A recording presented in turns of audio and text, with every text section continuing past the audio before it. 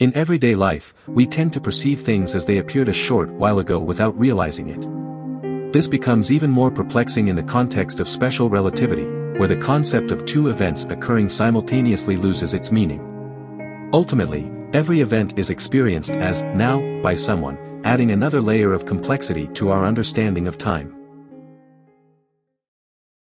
Existential Physics A Scientist's Guide to Life's Biggest Questions written by Sabine Hossenfelder and published by Viking, discusses the concept of the passage of time and the speed of light. The passage of time is not universal, and the speed of light is finite, meaning that we always see things as they looked a little bit earlier. This is known as the relativity of simultaneity, and it has far-reaching consequences.